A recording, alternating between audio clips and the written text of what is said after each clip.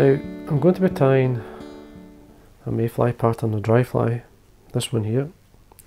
Now this fly is called the ginger mayfly. It was originally tied by a gentleman called Dennis Moss. Now he uses, materials he uses for the, the fly, for the tail, it's a dyed yellow, this is grey squirrel. For the wing, he uses a dyed olive fox tail. This is from the base of the tail, it's much shorter, it's ideal for doing wings. For the body, using ginger seal's fur, you can use a sub. Now, normally I would use a saddle saddle's ideal, but I don't have one, so I've got a neck here. This is a, basically it's a furnace, but it's quite light in the furnace. But I'm using the larger hackles to see, and I'm going to use two, and the main reason for that, I'll just show you, is the fact that half the, the feather is black in these feathers so and I need the tips. So I'm going to be throwing away half of half of these so I'm going to have to use two to get the, the volume of hackle that I need. And the hackle length should be less than the wing length just slightly less. So anyway thread the Dennis uses a black thread. I'm going to use a, an olive an 8 in uni now hook this is a Kamasan, it's a B170 size 10. Now start at the eye and I'm going halfway down the shank, remove the waste piece and then come back up halfway and this will give me the position for the wing. Now so we've got the fat fox here now from the base of the tail they're quite short. Now the wing's not too heavy so taking out a few fibres enough to form the wing. Now you can see the tips are quite close, all lined up. There we are.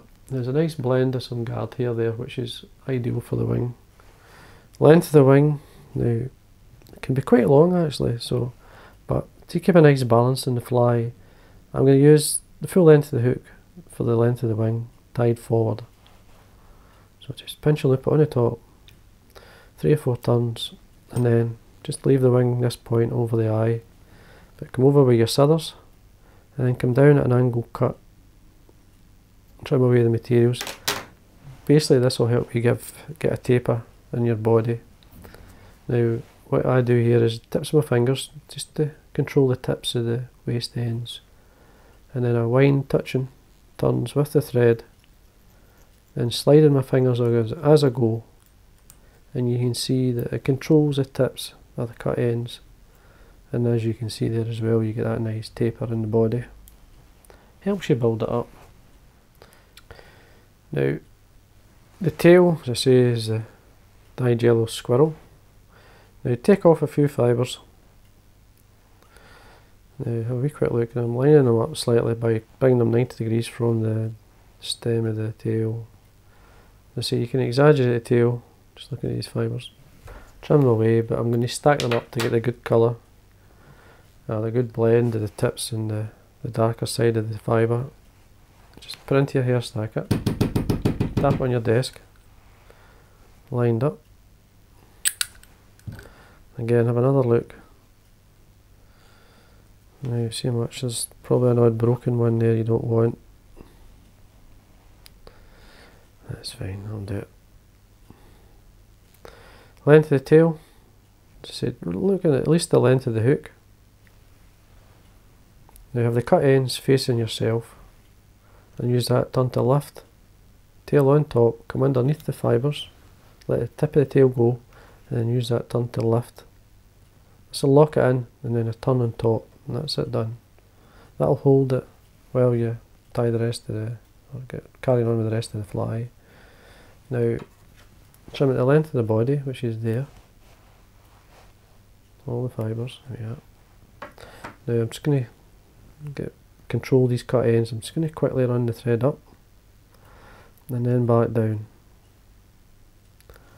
You obviously you want to start the body in line with the barb of the hook. Get we're dubbing. Use the finger and thumb of your, in my case my left hand take so it's an anchor point and then twist my finger and thumb my right hand and just twist the one way and then feed the dubbing onto the thread. That's how I do it. The, the dubbing's well blended so it blends, it goes on very easy if you do that.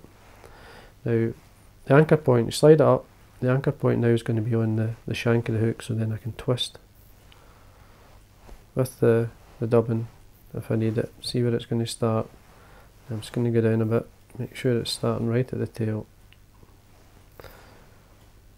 There we are. And then we start to work our way up.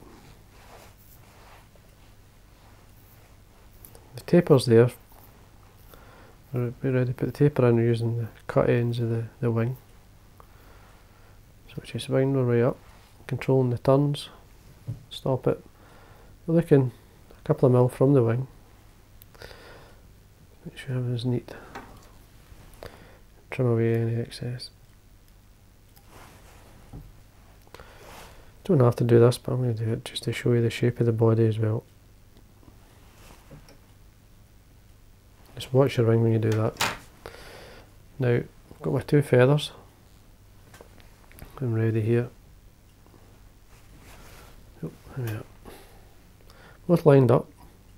Tips lined up. Pick the best part of the hackle. Just going to try this out. There we are. So look at the length as well. So if you bring the fibres out and put the stem in line with the body, this will give you the length of the hackle. So I want to come up a wee bit because there's tapering away from there. So there we go. I say, I've got to use two hackles just to get the volume of hackle fibres that I need to tie the fly. Now, as you see, I've cut both ends, both the same length. Got two hackles sitting with the underside of the hackles facing myself, catch them just at the body there. Work down, down them in, lift the wing. Then I'm going to lock the, the wing up with a few turns in at the root. In front, not on the wing, just to basically push them up and then carry one down to the eye, just about a mil from the eye. So have a look at your wing at this point, see how it's sitting. That's fine. Now you want to wind these hackles down together. Now just you're looking at least three turns at the back. Lift the wing and all the fibres that's going towards the eye, draw them back. And it's important that you get a good turn of hackle fibres in there. Just watch what you're doing at this point. and we have to go back. Sometimes it doesn't sit the first time. Second time usually sits all okay. And as you can see, using your fingers, I, I find it easier than hackle pliers, especially with two hackles. And it's important that you keep them both the same length. As I say, they get they turn really tight into the wing, and then wind down. Just keeping a hold of the tips. all the way to your happy sham there couple of turns or so there I can fold back tips of the hackle tidy the head area up just ignore everything at this point and then we can finish you can trim away the or just basically it's easy just to break off the tips. Trim away your thread. And there we are. Now we can bring these fibres out where they should be because we did force the fibres back. Now what Dennis does, eh, he, he trims away the hackle underneath but I'm not going to do that. I'm just going to bring the fibres either side. Now you can brush them up or in this case I'm going to use velcro just to bring them up either side.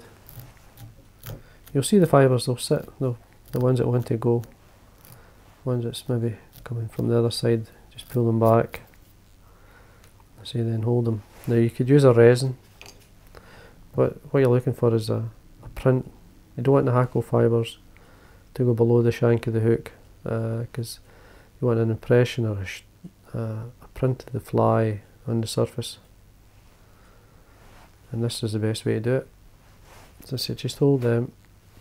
Get, I'm going to use a clear varnish as I say, you could use a resin, it's up to yourself. Just lightly. Put some varnish on. It's very light this varnish, it's, I've thinned it right down so and then come in and then varnish the head all the way around.